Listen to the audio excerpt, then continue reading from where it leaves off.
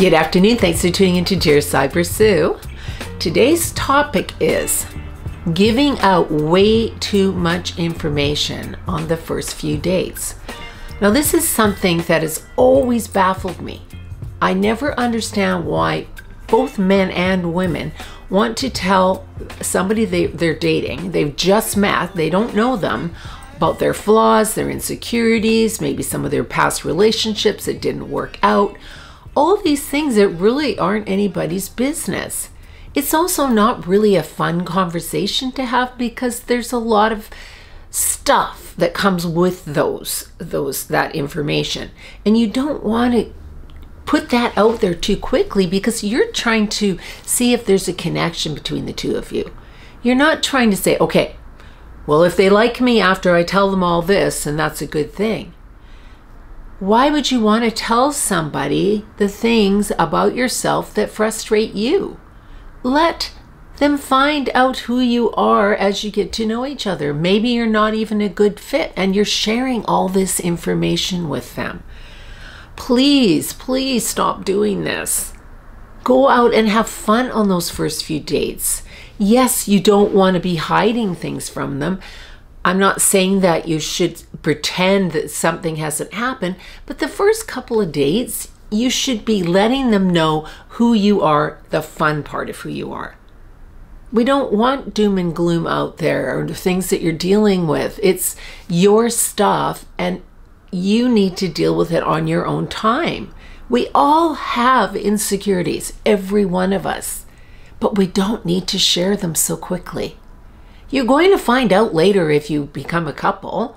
Of course you are, and they'll probably come out naturally because that's just how it happens. But I watch those guilty of watching The Bachelor and Bachelorette, and I'm noticing on the shows that both the men and women are telling each other these really sordid details.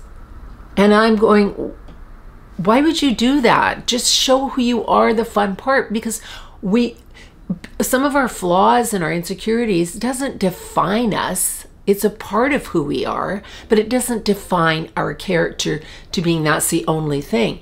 But if that's the first thing you're sharing, this is what they're remembering.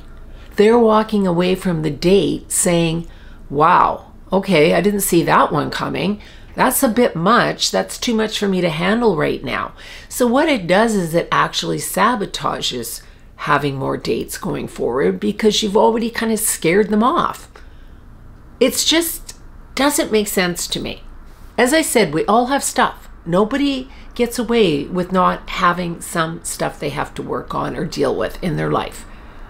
If you don't have stuff, you haven't lived. So this is just a natural thing, but we don't need to share every detail with a complete stranger.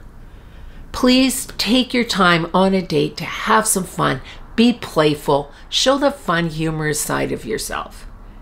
The one thing that I've noticed is a lot of people think with the social media now that oh my god i have to look a certain way. If i don't look like that the girl's not going to like me. The guy's not going to like me.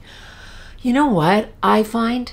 The majority of the time that somebody is fun comfortable in their own skin playful and confident that is what stands out it doesn't matter if they're a size 4 it doesn't matter if they, they have a bit of a beer belly if they're fun you will take notice. You're not going to put that beer belly and that, you know, maybe she's a, a, a little bit bigger woman.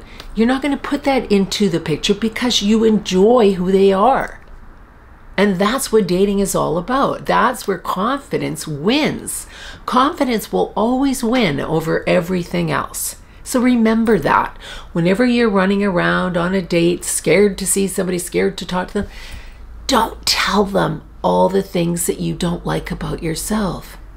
Because if you don't like it about yourself, why do you think they might like it? And this is this, it's just going to make you more insecure the next time you go on a date because you didn't get a second date. And think about it, doesn't it make more sense to put out your positive attributes than to share things that you don't like about yourself, your negative traits as you think in your head? To them, it might not be negative It might just be something that bothers you. So don't draw attention to it. Let them get to know the fun side of who you are because they've already got on the first date with you. So something about you intrigued them. So stick with that. Go with that part of the equation on how you guys met, how you had a few maybe texts or conversations before you actually had the date. And, and go with that. Start out that way as opposed to going, okay, well, I better get this out of the way and let you know you know, all these things about me that I don't like.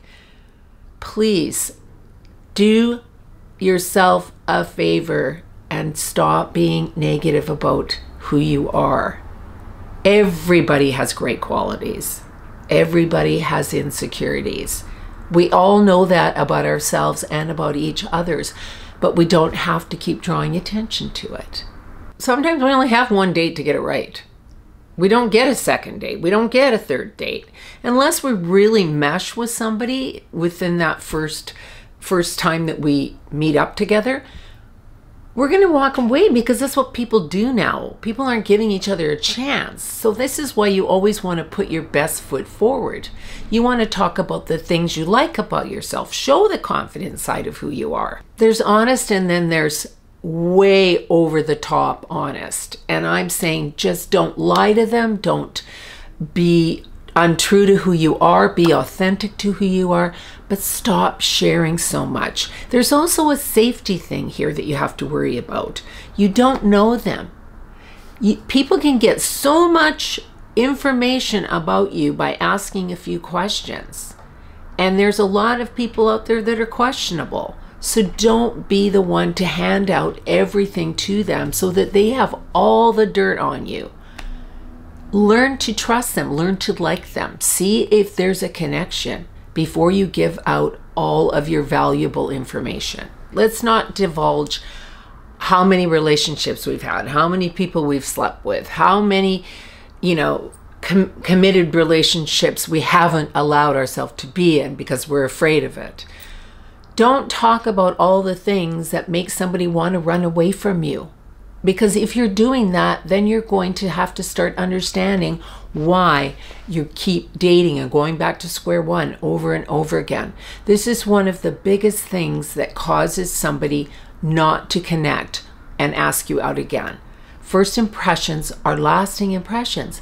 So be the person that you want to meet. And at the end of the date, there's been no discussions about anything that's intense. It's just been a lot of getting to know each other. What makes you both tick?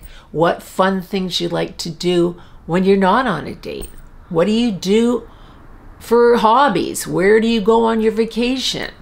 All these things are what you talk about, not the things you don't like about yourself. Please do me a favor and chart, start changing up your vocabulary if this is sounding a bit like you. There's also some people who tend to talk too much about themselves, about all the great things, and really optimistic about who they are, and that can be a turnoff too.